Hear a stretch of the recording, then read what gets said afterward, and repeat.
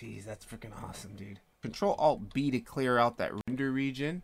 And like now what I probably want to do is uh, jump into my camera here. And this is where my camera's at. I'm going to go to real, real, real, real camera lens because that's what I like to do. If you're using the startup kit, it's already set up for you guys. Real lens, 50 mil. I'm going to bring it up to 100 millimeter lens. And well, let's kind of like maybe even a, maybe should go back to a 85 here.